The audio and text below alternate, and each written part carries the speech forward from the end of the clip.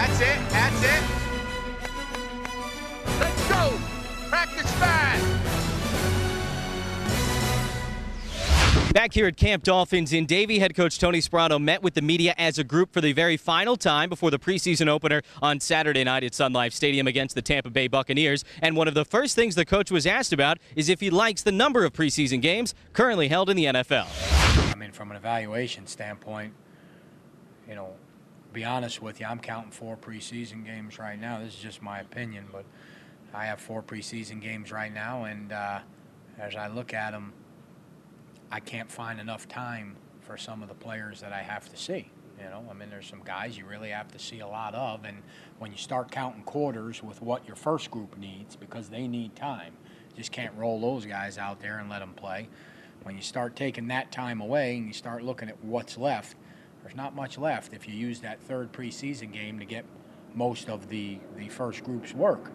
The coach did go on to say afterwards that whatever the owners and players decide to, he'd be okay with as far as the number of preseason games. As for this Saturday, the quarterback situation, of course, a little bit up in the air, and the coach discussed which quarterbacks would play and for how long. One guy noticeably missing.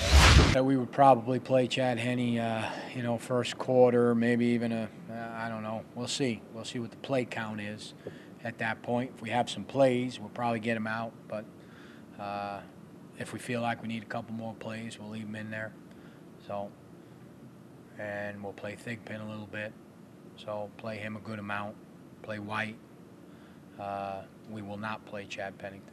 And finally, after the coach gave his players a practice off yesterday afternoon to take them bowling, he told us what his players' reaction was like when he made that announcement. I think they thought I was kidding initially, but uh, you know, they were pretty excited. So it was good for us. We got out there and got away from the building a little bit, and you know, uh, got a chance to uh, spend some time together away from football, which, is kind of nice. By the way, the head coach did say that Chad Henne, not only a star on the football field, but also at the bowling alley. Check back throughout the day to MiamiDolphins.com and thePhinsiders.com for the very latest from Davie.